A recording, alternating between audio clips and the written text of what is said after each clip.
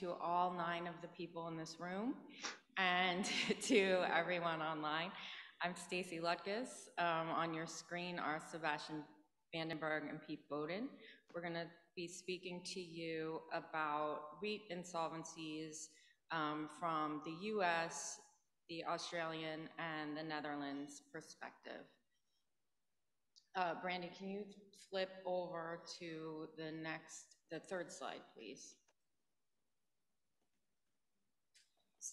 Um, and then, so uh, this is a, a, brief outline of our program, which is, we'll start with a, a description of what a REIT is in each of the um, jurisdictions. We will um, we'll discuss insolvencies and we'll discuss restructurings. Um, in the United States, uh, the REIT structure, structure was enacted by Congress in 1960 um, it was intended to provide small investors the opportunity to participate in um, large scale institutional type real estate investment.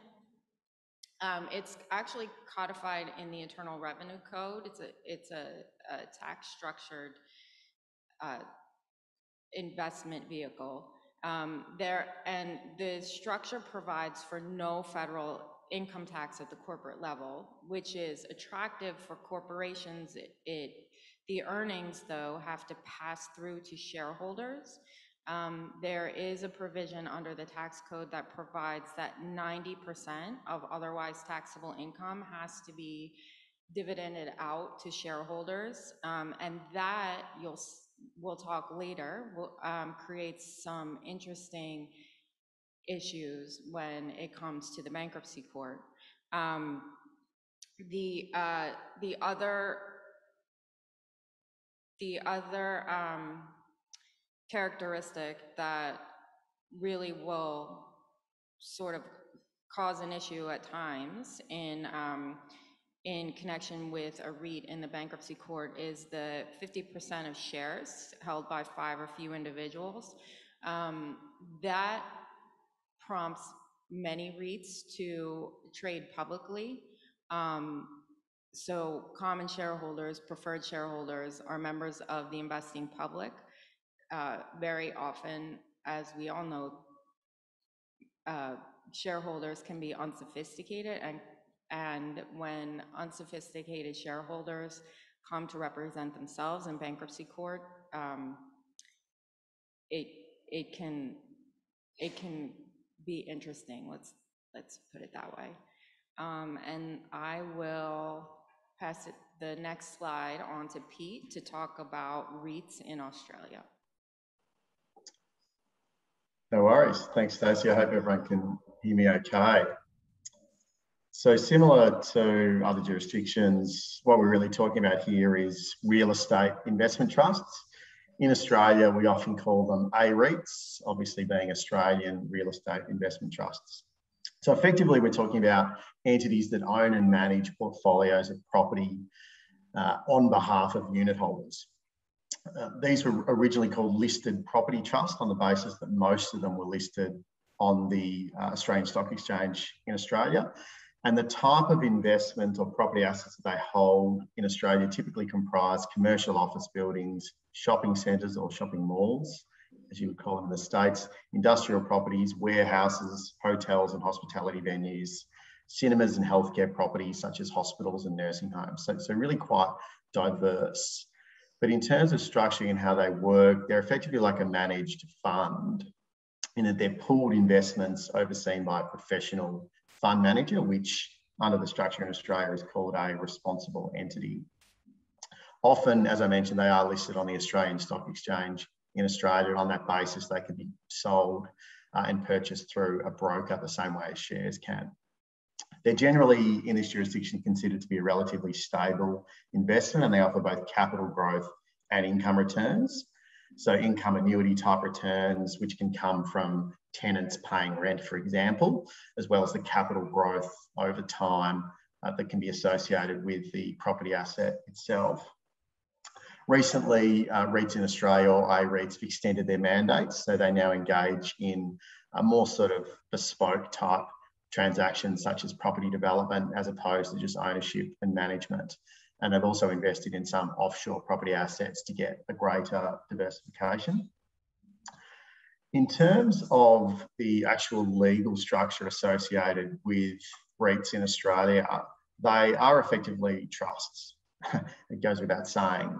And in Australia, trusts are creatures of equity as opposed to creatures of, of, of statute. Uh, unlike a company, a trust itself is not a separate legal entity, and the relationship governing, governing a trust is effectively contractual. So you have the trustee that has obligations to look after the beneficiaries, and the relationships are incorporated in the trustee.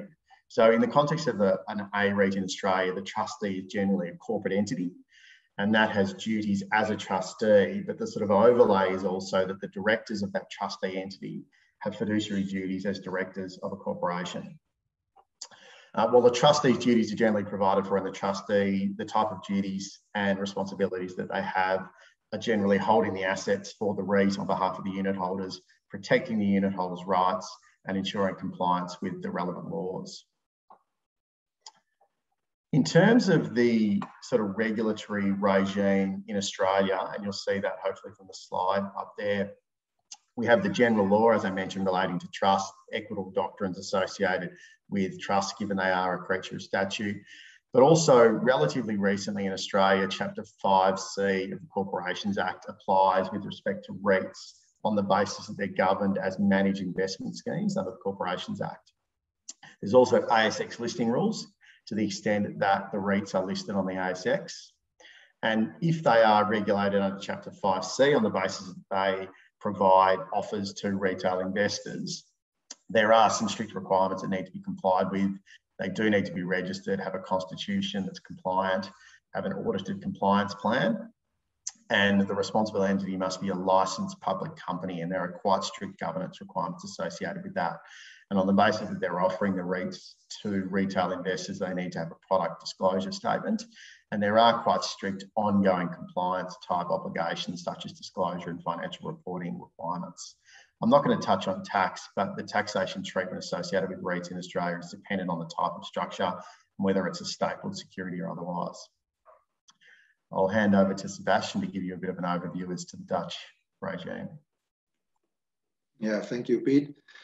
Uh, thank you, uh, Mr. Chairman, also for the introduction. Uh, you see that, hopefully, Randy, that my slide is now on, and you see that the content of that slide in respect of the Netherlands is extremely limited. And that's because we don't know the trust as such. I mean, uh, we, uh, uh, we do have tax regimes because we are the Netherlands, so everybody knows us because we are a tax haven.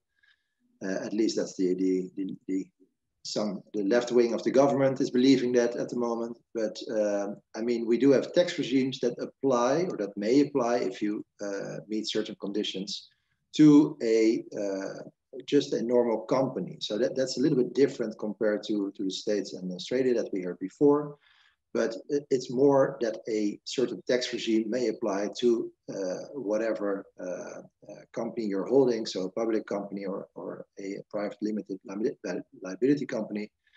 And it also applies or can apply to mutual funds. So that, that looks more like the trust form, more like the agreement.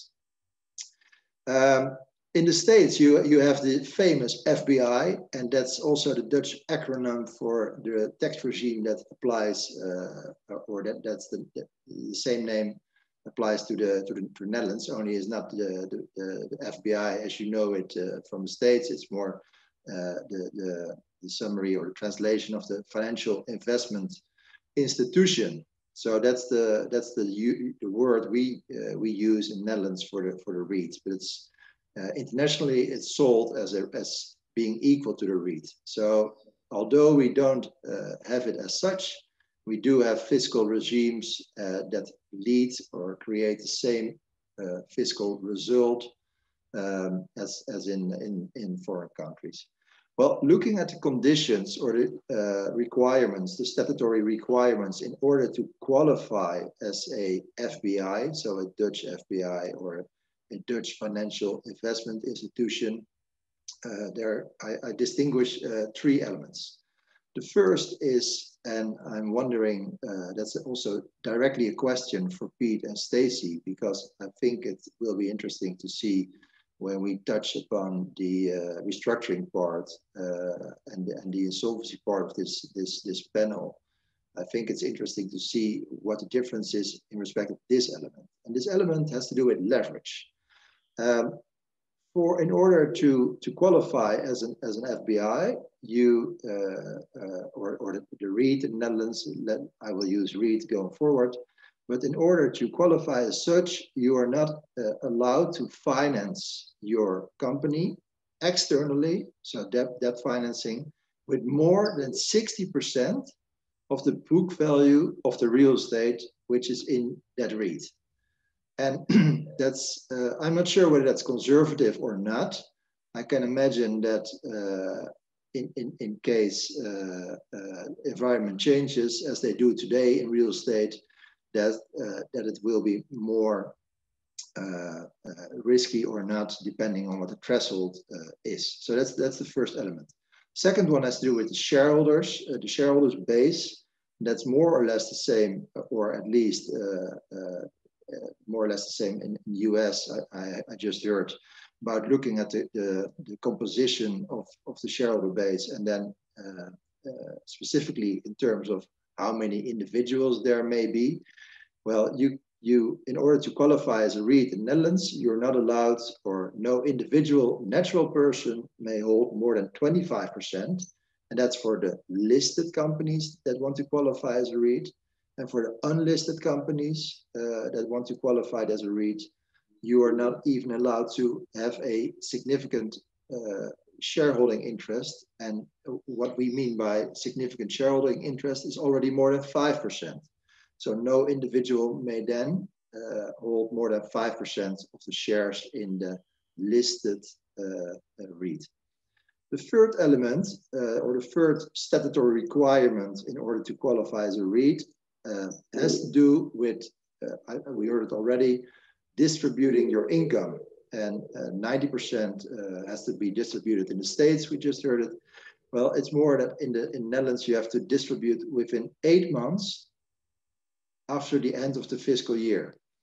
Uh, and then you have to distribute among your uh, your shareholders and their yeah the advantage and we will not elaborate about uh, about the tax elements uh, of, of the of the REITs in, in other countries, but then you are not uh, obliged to pay corporate income tax. Um, but profit distributions are then still subject to the 15% Dutch withholding tax. So that's that's basically in a nutshell how we uh, what we do or what we uh, understand to be REITs under a Dutch law perspective. So, so to summarize, we don't have as such, as such because we don't know the trust in our Dutch uh, legal system. However, you can still apply or create the same uh, effect as, as in foreign countries where you do have to, the, the trust because we know the uh, FBI, so the, the uh, financial or the fiscal investor uh, investment institution. So that's that's about it for uh, for the introduction in respect of the REIT from a US, Australian, and Dutch perspective. So I have a question for both um, Sebastiaan and Pete. And it is based on what I heard and what I know about US REITs. And that, well, first, um, so in the United States, a REIT must derive 75% of its adjusted gross income from passive investment. And the passive investment can be in real estate equity or real estate secured debt. Um, and so what has happened in the REIT industry here is that these very sort of complex corporate structures have grown up out of that particular requirement under the tax code. And so um, what you'll often see is a company that is qualified as a REIT under the tax code, and then that company will directly own an operating partnership.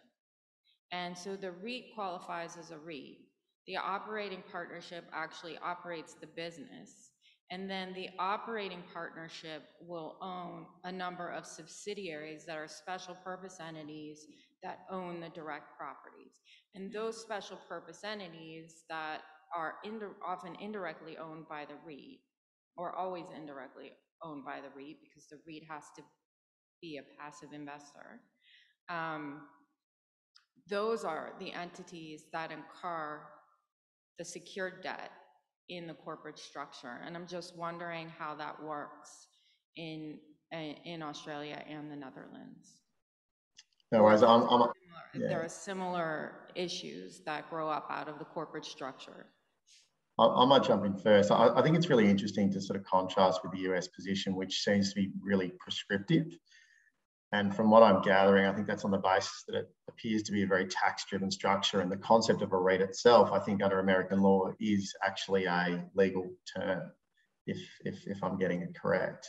Whereas the Australian position doesn't have a strict kind of oversight or prescriptive definitions as to what constitute a REIT. And in fact, a REIT is not necessarily a thing. It's just something we talk about. It's not a legal term. So those kind of prescriptive terminology under Australian law don't apply. And there's no kind of tax structuring or tax concept of a REIT. So uh, very, very different, I guess, from the US position. It may be that we're 20 years behind the US, which we ordinarily are in normal circumstances. So it may be something that we develop over time. But our structures are relatively straightforward. I mean, there's some complex underlying transactions that underpin the trust assets, for example. But effectively, we just have a responsible entity that is quite heavily governed. And that's the entity that incurs the debt. So any secured debt would effectively be over that particular entity, as well as fixed assets that are located in the trust. And I'll sort of get to that when we talk about from an enforcement perspective. But in terms of sort of layering and structuring at the sort of responsible entity level, that, that, that just doesn't happen. It's very straightforward. It's one entity that acts in that capacity and they then have the right of indemnity out of the trust assets, uh, but certainly not as prescriptive as what you uh, have in the, in the States. And so having, having described that, is there, um, I, I, can I assume, or can we assume, that there's no specific requirement with respect to what assets the, the REIT can own? I, I mean, I'll, I'll call it a REIT, but you Yeah. we'll call it the responsible party or the responsible person. Is there a, a requirement for the types of assets or what the asset mix can or cannot be? No, there's not. There's not. So, so really the requirements on the basis that the assets are offered up to retail investors, the requirements center around disclosure and governance and those type of uh, rationale. So I think I think it, it comes down to the fact that we don't actually have that specific defined concept of a REIT. So there's no specifics around what you must hold or what you aren't allowed to hold in order to qualify on that basis. So it's a very broad structure in Australia. And um, really, the law and the sort of terminology revolves more around trust law, to be honest. And so there's quite prescriptive requirements around offering and being on the ASX and disclosure and those type of things, but they more relate to the fact that you're offering it out to retail investors as opposed to the actual structuring itself. So in a roundabout way to answer your question, it's, it's very, very different. Yeah, and perhaps I can add from, from my perspective.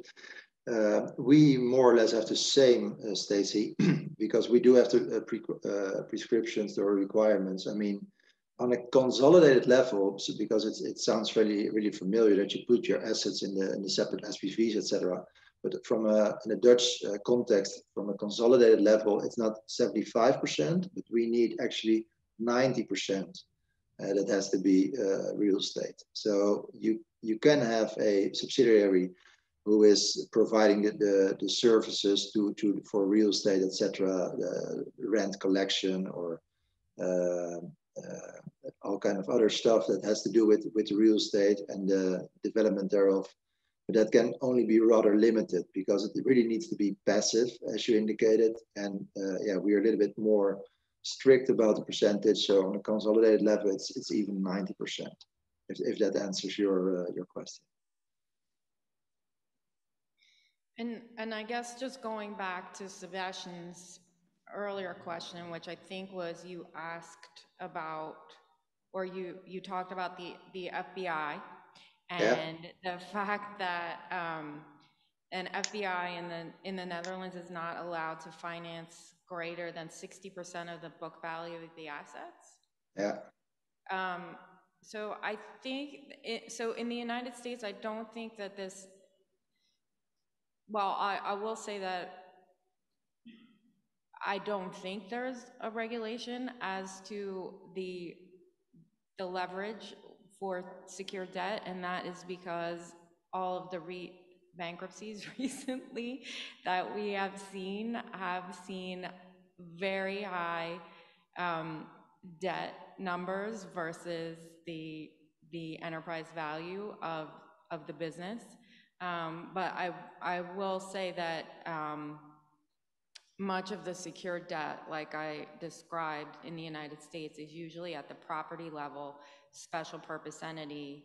I mean, let's just say for, for the sake of this example, that you have a mall REIT.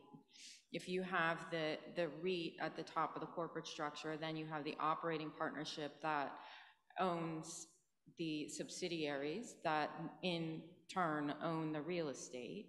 Um, It's each of the subsidiaries that, that will incur the debt. There is secured debt at the top of the, the structure often, and, and usually what, how that works is the operating partnership will, um, will borrow um, and will pledge its stock in special purpose entities that own real estate but don't have their own debt on that real estate. Um, it's, it's a, it's complicated and, and parties get pretty creative with respect to the financing. REITs also, um, traditionally use the bond markets in the United States to raise capital. Um, and so if you're going into an insolvency situation, and, and we'll get to, I'll get to more of this later in the presentation, but um, there will often be a, a bond group that, for lack of a better term, gets to drive the bus. And Pete, how does it, how does it work in Australia? Is there a limitation on borrowing for, by the responsible person? No, there's no sort of statutory limitations. Obviously, they'd be limited to the extent that they can pledge their assets. Uh, that would be set out in the in the trust, and um, you know the ability to leverage off that. But there's no statutory requirements around that. Um, it's pretty conservative in, in the Australian market in terms of leverage, so LVRs would play would play a key part. Um, property is a very safe asset in Australia, and REITs are considered a very sort of long-term safe asset as well. So they have relatively conservative gearing, but yeah, there's no sort of statutory requirements on what they can and can't borrow. Okay, so we'll turn now to the topic of REIT insolvencies. Um, in the United States, bankruptcy filings by REITs are actually pretty rare. There was, um, so as I described, this structure was enacted by Congress in 1960. Um, in the late 1960s, it took, it took a good decade for the REIT concept to take off. Um, initially, the, the holdings were small, the dividends were small, the money was small, so investors just sort of weren't interested. Um, as the holdings grew, as the dividends grew, as the portfolios grew, investors became more interested, um, started investing, and everybody started setting up REITs. Um, I was surprised to learn that in the 70s, it wasn't uncommon for the big banks to set up um, a REIT arm for real estate investing. Um, invest those those REIT arms of the the big banks generally invested in mortgage trusts. Um, but by the end of the 70s or um, mid to late 70s, there was a real estate slump in the United States. Um, and these REITs were heavily invested in, um, in development projects, high-risk de- construction development projects. So um, they eventually defaulted those projects. Um, interest rates shot up in the United States in the mid to late 70s. Um, and ultimately, the REITs couldn't make their loan payments, which resulted in a, a large number of filings under the Bankruptcy Act in the mid to late 70s. Um, between that sort of explosion of, of REIT filings in the 70s and 2009, when General Growth Properties filed here in the Southern District of New York, um, there were very few REIT bankruptcy filings. Um, and when General Growth filed in 2009 in April, it was the largest real estate bankruptcy ever filed at that time. Um, General Growth, uh, after General Growth, the, the, the REIT filings slowed down again, and recently we've seen more filings um, by REITs with substantial exposure to distressed industries. Retail REITs, um, shopping malls or shopping centers, as you call them in Australia, um, hospitality REITs, um, industries that that were affected by the COVID-19 pandemic, but also, um, as we all know, the, the retail and industry was sort of in a, a tailwind pre-pandemic, um, and just pandemic closures sort of just put it over the edge, and, and the recent filings have largely been from the real estate industry. I'm sorry, from the, the mall and retail industry. Um, and so I think we'll go to the next slide now and Pete will tell us, talk about uh, insolvencies in Australia. Yeah, no worries. Thank you. Look, similar themes in Australia there. Insolvencies of REITs are infrequent, particularly compared with general corporate insolvencies, notwithstanding insolvencies across the border uh, are very much down at the moment. But it's interesting because we refer to REITs as being insolvent, but from a legal perspective, on the basis that the Corporations Act defines insolvency and the Corporations Act governs corporations as opposed to trusts, it's actually technically impossible for a REIT in Australia itself to be insolvent. So really, it's the responsible entity that is insolvent on the basis that it and only it can incur debts on behalf of the trust assets and, and of the trust assets. So on that basis, trust property is held and the debts are incurred by the RE and the responsible entity has a right of indemnity from the trust property in respect of those debts. So insolvent REIT therefore describes a REIT in which the trust property is insufficient to meet the liabilities to creditors, whether or not the RE itself is in fact solvent. And there are a few reasons why REIT insolvencies in Australia are relatively rare. The first is really that a trust itself and a, and a REIT for that matter is, is really an insolvency remote vehicle. So they are structured to avoid insolvency and there's all sorts of provisions in the documentation which support that. So for example, the responsible entity is not really able from a legal perspective to incur debts that they can't uh, pay and there are quite restrictive covenants around what they can and can't do. So on that basis, purely from a structural perspective, it is quite rare for REITs to become insolvent. Notwithstanding what I said before around the technical kind of nuance that they can't actually be insolvent. Second, there is a very heavy regulatory environment, and that's not around, as I mentioned, the definition of REITs itself. It's really around how the responsible entity operates. And this was introduced in 1998. And effectively, it governs REITs and classifies them as managed investment schemes under the Corporations Act. We had a wave of insolvencies in the agricultural managed investment scheme after the global financial crisis and almost wiped out the entire sector. But the REIT sector certainly didn't suffer the same consequences as the agricultural sector did. There are also a number of steps that can be taken in respect of REITs when they're in financial difficulty. So they can divest assets, they can undertake rights issues, private placements, uh, they're also subject to a takeover offer or a merger and acquisition. So they, there is quite uh, optionality in respect of them on the basis that we're dealing with quite familiar hard assets that investors are very, very comfortable for. So another reason why they uh, REIT insolvencies are quite uncommon is that they are statutorily obliged to maintain certain cash and liquid assets and therefore they are required to remain solvent. Now we say that about all companies, but these kind of stricter requirements around the governance of managed investment schemes and responsible entities means that it's quite uh, unlikely for them to become insolvent. But I think the main reason why we've seen very few REIT insolvencies in Australia is just the strength of the property sector in Australia.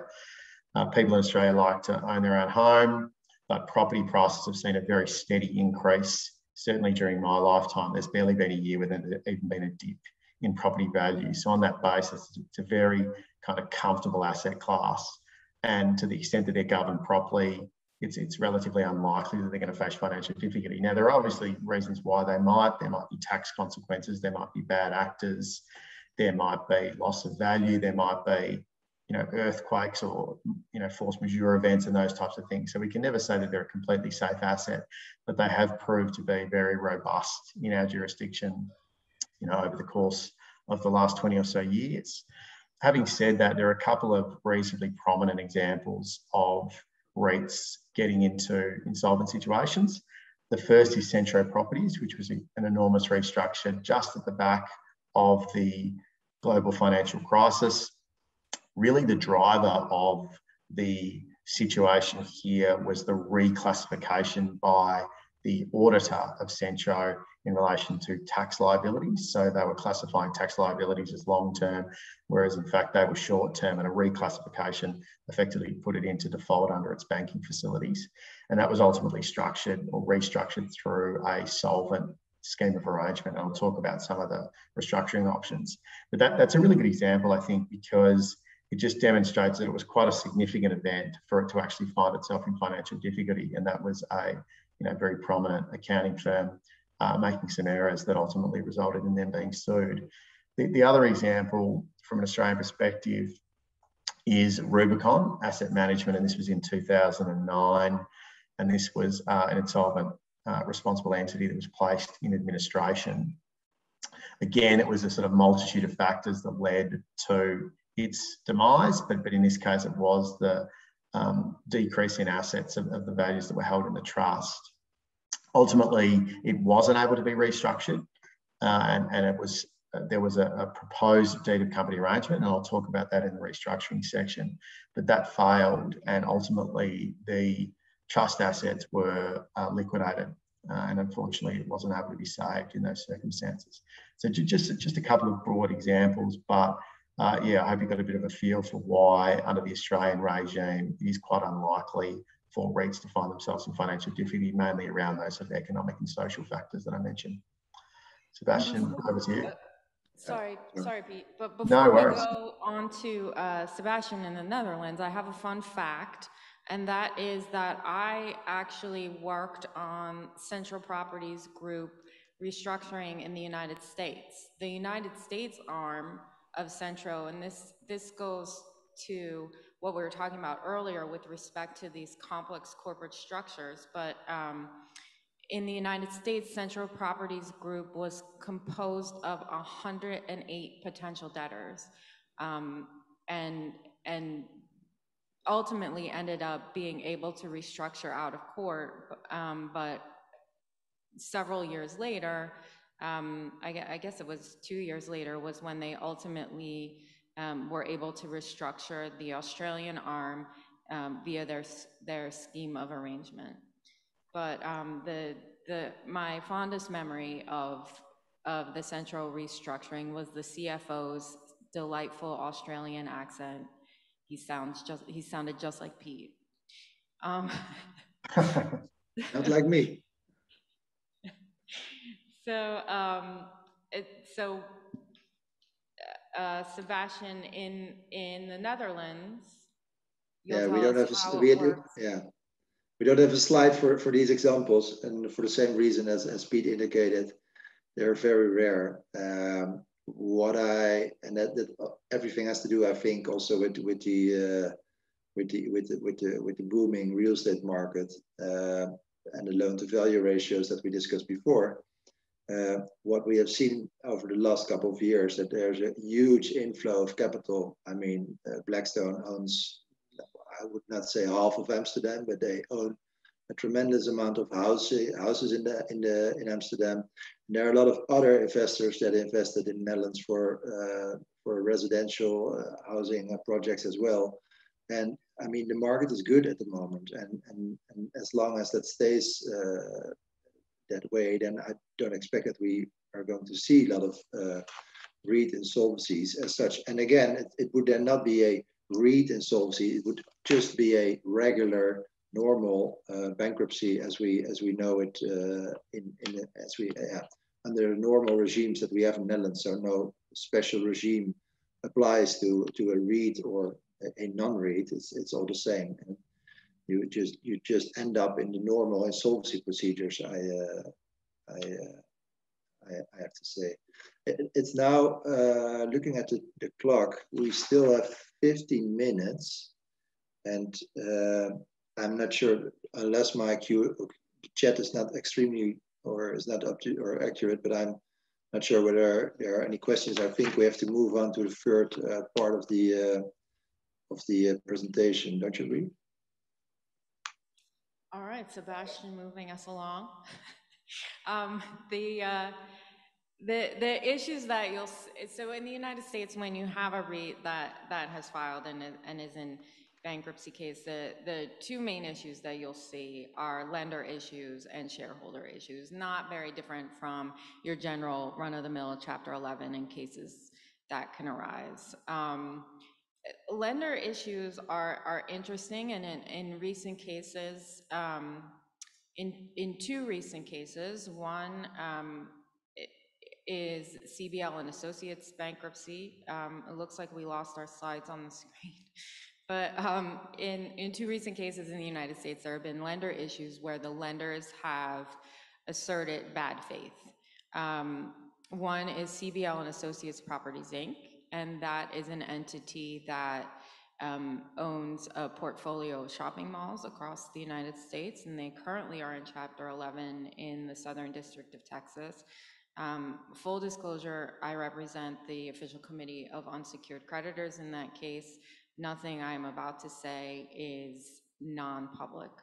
Um, the, the assertion of bad faith in that case was from the lender Wells Fargo, who um, prior to the Chapter 11 filing, when the debtor was negotiating with Wells Fargo, its secured lenders, as well as its ad hoc group of note holders holding a who hold um, north of two-thirds of the outstanding issue of the, the company's secured, unsecured notes.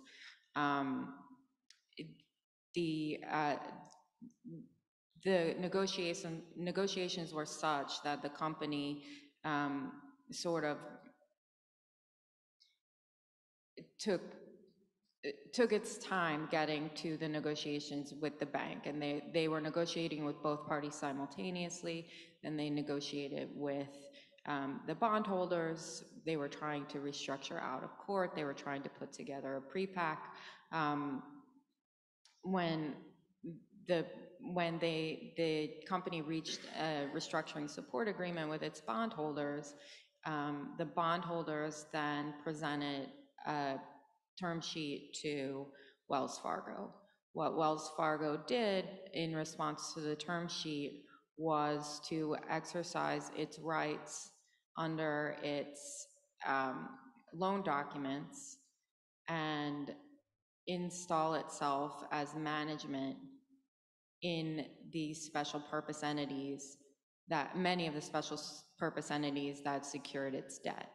Um, and so when and and took a series of actions like telling the tenants not to pay their rent to CBL, to pay their rent to, to Wells Fargo. Um, and when CBL filed its Chapter 11 case, including the 20, I think it was 22 entities that secured the Wells Fargo debt, um, Wells Fargo asserted in the bankruptcy court that the, the case was filed in bad faith. Um, so the bad faith, that bad faith allegation led to several months of litigation. Um, the parties ultimately um, ended up settling their differences in mediation and, and a, a plan was confirmed in that case in just this past August.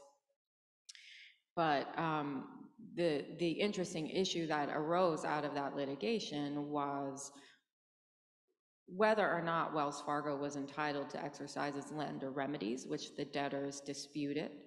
Um, the once it inserted itself in management in those 22 entities that ultimately became debtors in the bankruptcy, management was required to act in the best interests of each of those entities and not in the best interests of Wells Fargo. Um, that was the assertion by the debtors in that litigation, and it would have been interesting to see it play out, but ultimately, the parties decided, after a couple of days of trial, the parties decided to give mediation a try, and we will never know what the outcome will be. Um, I think we are rapidly running out of time, and this always happens. So to ensure that we get a full perspective from the Netherlands and Australia, I will we will turn it over to Pete for the next slide. No worries. I'll try and be as quick as possible on this section. Uh, just noting the, the prior comment in Australia that insolvencies are quite rare, rare in the REIT space. There are various ways in which the companies can find themselves subject to an insolvency appointment. So by example, while there are restrictions on the board uh, in terms of the debt they can uh, incur under the basis of the trustee uh, will normally set out their obligations and their inability to incur debt over and above what the trust assets are worth. There are circumstances where those debts balloon and they find themselves in uh, financial difficulty we have quite draconian laws in Australia in respect of insolvent trading, and directors can be personally liable and they can even go to jail in extreme circumstances. So, in some instances, and this was the case in, in Rubicon, the directors themselves can appoint an administrator.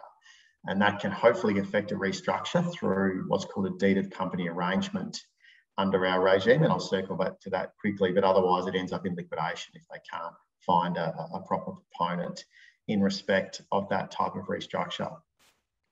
Also, when a, a REIT is in financial difficulty on the basis that some of the assets in the trust have been pledged to specific secured lenders, those lenders can appoint a receiver. So that counterparty can actually go in and realise those assets purely for the benefit of the secured parties. So there are various ways in which the REIT can find itself subject to an insolvency appointment. From a restructuring perspective as well, there are two uh, effective regimes under Australian law that uh, REITs can utilise. And the first is what's called a deed of company arrangement, which is basically a compromise between the company and its creditors. And this is one of the potential outcomes of a voluntary administration under Australian law. So using Rubicon as an example, there was a deed of company arrangement proposed and effectively, that needs to provide a better return than a liquidation in order for it to be voted upon by creditors in a simple majority in value and in number. And ordinarily, for a REIT, that would involve another entity coming in and becoming the responsible entity. So the deed of company arrangement proposal would effectively be put to creditors, and the basis of that would be a new, uh, properly governed, um, with all the, the, the relevant laws, uh, complied with, and that would basically displace the outgoing responsible entity. And that would be utilised through the deed of company arrangement regime, which, as I mentioned, is one of the outcomes of the voluntary administration. That wasn't successful in Rubicon, but it is an effective means in which a REIT can be restructured. The other way is through a scheme of arrangement, and that's what we saw in Centro, and that can either be a solvent or an insolvent restructure. It's an, a court-driven process, so it requires two court hearings and it requires each class of creditors to vote in favour of it. But it's a very effective way to implement a restructure, whether that be a debt for equity swap or just a debt forgiveness. And given it has the court imprimatur uh, associated with it, it, is a very secure way in which to do it so that it's not subject to challenge later on.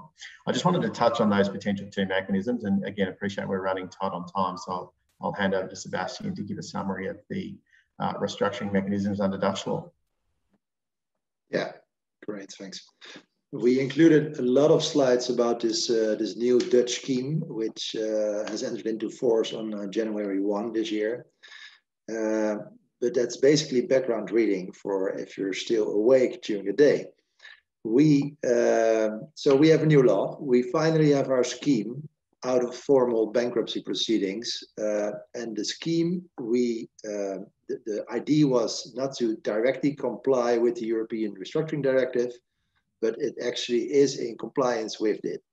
And the uh, great part about it is that it's extremely flexible, extremely swift and uh, uh, swift procedure. I mean, Pete already indicated that they have two hearings with, with their scheme. Well, we only have one hearing. So it can really uh, it can really be a very quick procedure in and out. And I expect it in the day. I mean, I mean there's another uh, session, panel session about the uh, uh, latest developments. And I, I expect that uh, Professor uh, Sala from the Netherlands, who is just or will be enacted tonight, or inter, in, as he is in the in the latest class, I, I expect that he will touch about the new Dutch, Dutch scheme as well. What I just want to mention over here for this this panel session, because we have to uh, round the circle and come back to the REITs is that uh, we have under that new Dutch scheme an extremely large uh, basis for jurisdiction. There are two tracks, a public track, uh, which is basically under the uh, European uh, insolvency regulation, and a private track. And that private track, you don't need COMI for it. So, and you, you basically need a what the, what the English call a sufficient connection and that can also mean that you end up with domicile of the creditor. So if you, for example, uh, have a, a, a, US REIT and uh, which is which is governed by, by US debt and the, the, the creditor is in the States, you can simply transfer part of that debt position to Dutch SPV and enter into the new Dutch scheme. I mean, that would be sufficient connection for a Dutch judge to order that he has jurisdiction to follow this extremely swift route. And what do you get then? What is the Dutch team scheme? Well, it's basically a combination of the, the UK scheme of arrangement and the uh, Chapter 11 proceedings, but not the extensive uh, way, in the, not in the extensive way that that that uh, that that received comments uh, uh, I mean, I mean, chapter 11 is very costly, very long, etc., etc. And we try to take all those uh, disadvantages away and try to create a very swift procedure without uh, taking away the underlying thought of distributing the reorganization value uh, in the priority or what you call the absolute priority. Uh, so that's what uh, what has been implemented since January 1st. Uh, we have seen a lot of liquidation uh, schemes, uh, but we are also involved with a very relatively big one then, restructuring case. And again, very broad grounds for jurisdiction. Also in terms of recognition, Dutch literature has already indicated, and perhaps Professor Sala, who was also an author of one of the articles, um, we'll touch upon that later today, uh, but there's also, um, uh, it's very much likely that we'll simply be recognized also under chapter 15 uh, in the States. So I, uh, I encourage everyone who is, who is involved with, with, with foreign REITs to try to see whether this new Dutch scheme fits into your restructuring toolbox. Um, I, I, think we still have uh, two minutes left for any uh, questions without ask or, or any questions without answers. Uh, but let's see how the what uh, what the audience uh, whether there are any questions from the audience, uh, Stacy. There are no questions from the live audience. Great. No hands. But um, they're still there. I, I yeah. will. I will take the next minute and thirty seconds to point out that yesterday, when we were rehearsing this presentation, one of the interesting things that came up when Sebastiaan was talking about the friendliness of the the the Dutch to foreign REITs is um, the juxtaposition of that versus a situation in the United States in the Eagle Hospitality Group Inc. bankruptcy that um, was filed in Delaware, um, the, the entities that first filed were subsidiaries of a Singapore REIT. Um, Later, the, the debtors filed the Singapore entity, and going back to our, our bad faith discussion from a few minutes ago, the, um, the lender, in that case, Bank of America, um, alleged bad faith for the filing of the Singapore entity because this, under the bankruptcy code, in order for a trust to qualify as a debtor, um, it has to be a business trust. And Bank of America asserted that the, the Singapore entity did not qualify as a business trust and therefore did not qualify as a, um, a debtor under the chap, under chapter eleven. Um, the, the, that, I'm getting cut off here, but I will say that the United States, uh, although the, the Singapore entity was able to stay in, in chapter eleven, uh, the United States is decidedly less friendly than, um, what we have learned about the Netherlands. So thank you to our panelists. I was told that uh, the CLE code was not mentioned in the chat. So for those of you uh, watching remotely, the code is REN1. That is REN1. Um, We'll have a 10-minute break